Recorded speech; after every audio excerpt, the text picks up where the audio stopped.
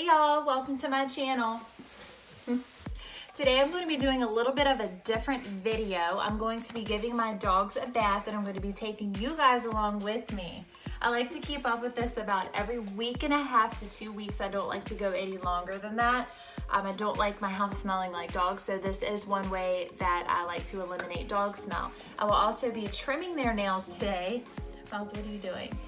and I'll be wiping out their crates very well and washing all of their blankets to get everything smelling fresh and clean.